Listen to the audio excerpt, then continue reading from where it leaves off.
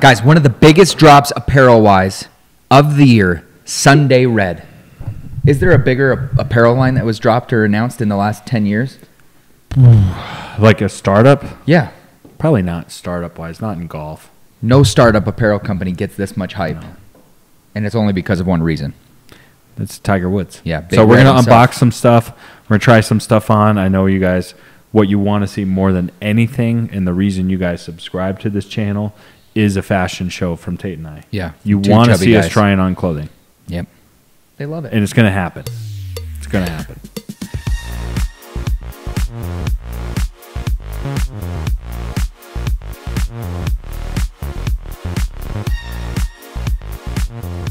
Don't forget, guys, if you're in the Denver metro area or you're coming through Denver for vacation and you need some new golf stuff or you need some swag, stop by and see us. We're, we're right between Denver and Boulder, so pretty close to two of the main hubs of Colorado. Or you can go to our website, which is live tomorrow, by the way. New website live tomorrow. Yeah, that's right. Well, by the time this video posts, it'll be live. It's already live, yeah, exactly. Or you can shoot us an email at info at embersgolf.com, and Trevor and I will write you back. Talk to me about your initial thoughts. By the way, when I was checking out for this stuff, um, it was like buffering, and it like it buffered, and a big TaylorMade logo showed up on it. Yeah, So it's definitely affiliated with TaylorMade. right. If you there was any wonder, Um, TaylorMade does stuff right. Well, we you gotta know, all of their stuff looks really good. I'm excited about it. It all looks really high quality. look at that. Okay, so boxing is okay. Ooh, I Um, like the tiger stripes. Oh, I don't remember what I ordered. Ordered a bunch of stuff. That's a lot of stuff, Boxing's boss. cool. Boxing, the box is cool. Welcome to Sun Day Red, brand blah blah blah. Incredible product team from Tiger Woods. I, I. This is tight. You didn't buy a ball marker, did you? Uh huh. How much was that bad boy? Well, that's what we're gonna get into in this video. Okay, I saw the price online. Too expensive. Okay. Um, pretty boring. Exchanges. Okay. Goodbye. Get that out of here. See what we got in here. Okay, now my spiel on it is Yeah, what do you think? what was shopping for thought? it is they it's obviously not available available to everybody. A lot of it sells out. So they're they're clearly intentionally making it um limited. Yeah, because how did it work? You had to have already logged in. Yeah, well, for their original Pines release, which I didn't get any of anything on, and then um, it's obviously extremely pricey. So we're gonna talk pricing in here. Very, very, very expensive stuff, and I'm gonna give you my take on that. But it's very limited and expensive. So basically, what they're saying is it's not for everybody. So it's not a brand for the masses, right? Okay, so when you were on their website, Trevor, what were you hoping to see? What did you want? What do you like wearing on the Um, course? My biggest irritation was, um, for me personally, is that it didn't have his logo on a lot of stuff. the TW. It's like all very, very plain, which is fine. Wait, are you talking the Tiger logo? Yeah, the not new the logo. TW. The new logo. The new logo. Yeah. Like here's their hoodie, like their lightweight hoodie, which is cool, but it's very, very plain. Yeah. So how does it show Sun Day Red on that? It doesn't really. So it's super simple, very plain and straightforward. So I was a little annoyed Oh. that there we go. There's our Sunday. So I was a little annoyed that we didn't get to see more stuff. Because if you're buying Sun Day Red, you're most likely a big Tiger fan, right? Yeah, and you're gonna kind of pay extra for the ti- the new Tiger, the Sun Day Red logo. So it was annoying. This is the mock neck. I just don't Oh, know. that's a sweater. no. Short sleeve. Where are you wearing that? I just I just don't know if I if I have the body for this right now. you're now. gonna golf. Somebody would golf in this. You think? I don't know. I could barely get my hands on anything. It's almost sold out. Now here's the kicker. What I really wanted to know about the golf glove. Is it a Nike golf glove? Fifty dollars. Fifty bucks. Fifty dollars. I mean that's nice. Yeah, but That's how long nice does a golf leather. glove last you? If you're if you're If- This one better last longer. if you're diligent with it, maybe four or five rounds. Mhm. it's solid. Very solid. Okay, so you think that the highest end TaylorMade glove is what? Twenty five dollars. Twenty-five. So it's double the price. It is soft. I wonder if it's lamb. You want to try it? If it doesn't fit, You must have quit. that's right. He did. It is nice. Nor thinking to Tiger though, Tiger normally has vents, so I, I doubt Tiger's wearing this glove, this model of glove. I guess we'll find Oh. out in a couple days. But we got some freebies, Hey, some tees, some Sun Day Red tees. so you spend a few hundred dollars, you get a couple wooden tees. Yeah, you get 20 cents worth of tees. That's cool. Okay, now their red collection dropped. So, of Ooh, course, I that's did slick. had to snag some red. So, this is the main polo that sells out. So Again, it's- where's it's the almost tiger? Got the text just on the back. It's got the textured neck. Um, That's thick. we're, let's try some stuff on and just kind of see here what we're dealing with. Wow. I got a pair of pants just to try out. I definitely don't need any pants. What made you choose that color? Because I already they had like black and navy, and I already got a million black and navies. What do you think of the stuff being so expensive? That's what I want to know. For me, um, if it's gonna be that expensive, it has to be the nicest Yes. on the on the market, which is hard to beat because Puma makes great apparel, Nike makes decent apparel. Um, Peter Millar right now is probably the highest end of apparel, and this is just as expensive as Peter Millar. Yeah. What about you? What do you think about it being so pricey? Um, it ha- like it has to be better. Like I'm I, I don't mind paying money for something, like, but it has to be better quality. That's kind of cool Yeah, that's not bad. with the tiger on the sh- bicep too. Oh, it's got. Oh yeah. Okay, that's not bad. This one's not bad either. Oh yeah, that's pretty cool. Long sleeve. See, that's pretty slick. Yeah. It's just red. You know, I feel like a. When I'm wearing red, here's the problem with red. There's two problems. And this is the fundamental problem with the Sun Day Red name and brand. Okay. Here's my problem with it. Tell two problems. Red is Tiger's color. Yeah. So anytime you're wearing it, even though it's cool, um, you're a little bit of a poser. Yeah. Especially on the golf course. you Yeah. see a guy in black pants and a red top, you're like, easy, Yeah. right? Who do you think you are? Yeah. Who do you think you are? The second problem, personally, this is just me. When I put on a, a red, I feel a little bit like Andy Reid. Yeah. it is not the most flattering color on It's us. not my color. guys. It's not my color. Yeah. If you're a little bit husky, Yeah. you know, it's like when my mom used to take me to J.C. Penney's as a little kid. Where are your huskies? Like, mom, Yeah. why are you saying that so loud? We can just find it. we find it on our own. You don't have to shout it from the rooftop that I need a husky. It's pretty much the big and tall section for 12 year olds, which is not a good place to be. no. And this looks right up the husky alley. Yeah. It's just going to bring back Husky I love memories. that. You look like Kansas. You look like uh, Coach Reid Coach Reid. put in his tight red windbreaker. Do you think when he got hired at Kansas City, he's like, you know what? What do you think about Yeah, changing the red's colors not. I really looked good in Philly green. in black? Yeah, All right. Another T-shirt here. that's cool. It's thick. It's thick. It's all it doesn't thick seem like it's going to breathe. I think for me, I, I want to know the most about the hoodies. That should just be a black hoodie. That's Or, the only sorry, thing. I don't know why Trevor bought all that, and I bought this. Yep. So that was my one purchase. That's yours. Thanks. These are all tees. Where's So- the ball marker? So for me, when I purchased um, the hoodie, uh, golf hoodie is probably my favorite thing to have on the golf course. What?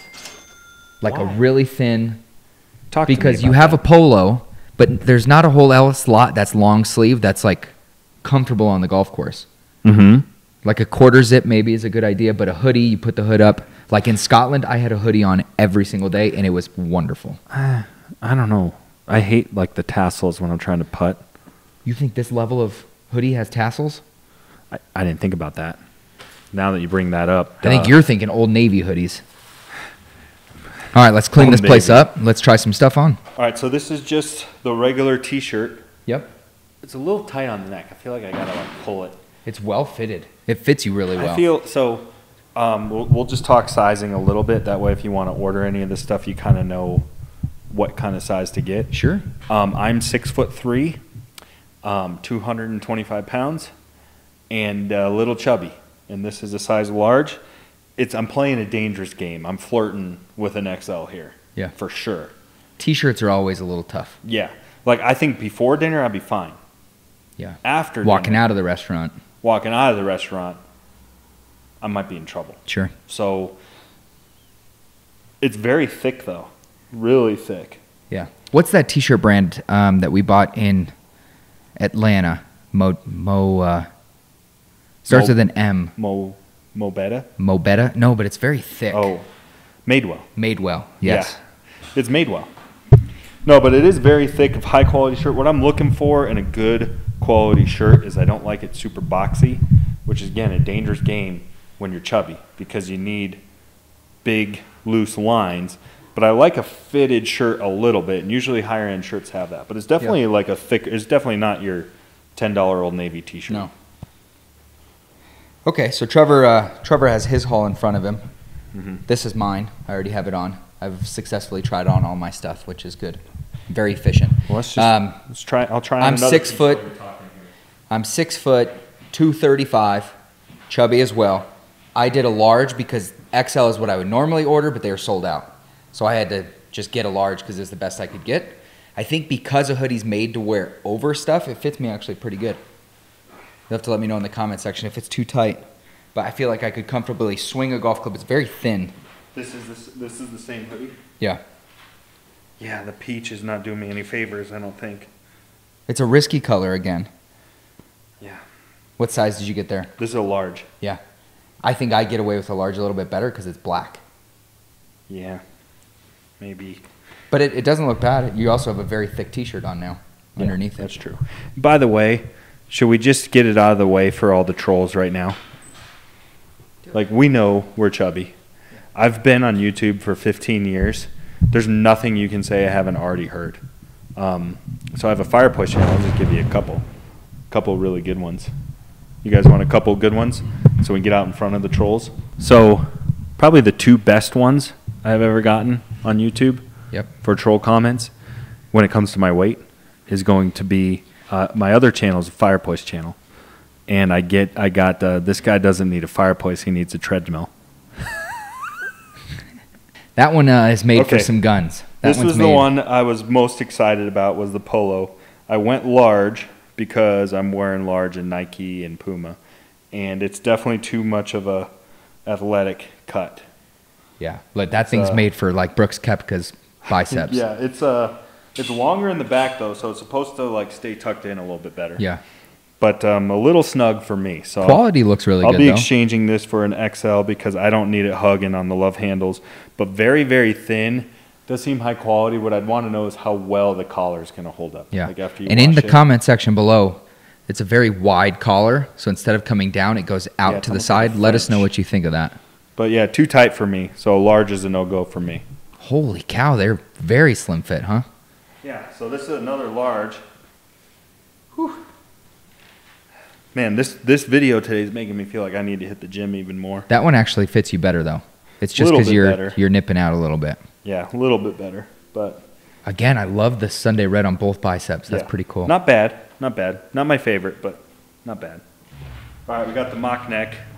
This is annoying. I don't know how people like Tiger like that. to play in that would be. It's a fashion. this technically a golf? Can you golf in this? It is thin. Yeah, it's collared. Yeah. I don't know. It's. I could see that. Maybe you need a little added warmth, but Throw the tag around the back. Let's see it. Okay, so now it's kind of annoying. that's like Tiger Woods 2000. Yeah. It looks good though. That one fits you good. What Yeah. size is that? Large? Large. Yeah, that one fits you well. All right. Let me try the pants on so we can get the whole outfit. All right. Here's the pants. What do you? They're very baggy. Really baggy pants. I don't like them. No, it's like um, they look like Jason Day's pants. Yeah, Right some, now. some uh, they looks like some some Penney's pants. We had J.C. Penney's on the brain. That's what they look Yeah. like. Some Super lightweight, good pockets. This these are a 36, 32. Uh, way too big. Yeah, but a 34, 30, that would be kind of a rough size for you, huh?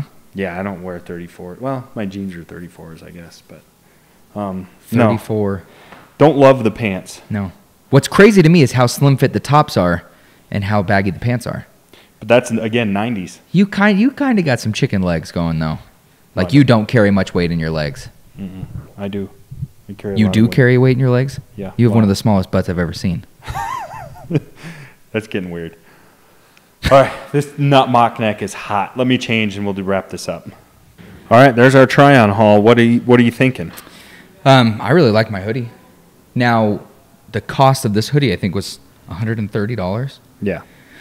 It's so would I buy more? No, probably not. Yeah. The Puma Puma makes really good. Peter Millar makes really good golf hoodies. Um, Nike has quarter zips. Good Good has quarter zips. There's a lot of overwear for golf that is very very nice for a lot Yeah. cheaper. My thing is, is it's very pricey, Yes. and I'm I'm all for buying something expensive. I I think it's better to buy something that's more expensive and going to be better quality and it's going to last you longer. If it's going to fit you better, it's going to look good. But if it, I'll only pay more if it's better. Yeah. So what did a polo cost? 130. There's So- the there's the other one which sold out, which is 160. So what's a comparable polo price? 90? Yeah, so like, and this is don't even get me started on some of the big guys, but they're 80 90 dollars, and they're they're already overpriced. They're mass produced polos Yeah. that don't hold up very well. Yeah. So you're already overpaying, I think, at the ninety dollar price point, which is what the going rate is for polos now. So I mean, getting double the value out of the polo. That was what I was most excited about was the polo, and unfortunately, it just doesn't fit. But the quality seems good. Quality seems good. Um, Are you going to order that in three or four different colors? probably not. I'll probably order one. I'll probably have one, but uh, it's solid. I'm gonna probably keep the shirt, but I do think initially after the review, my initial verdict would be that it's overpriced. Okay. I would I would agree. Time would tell, Time is going to tell.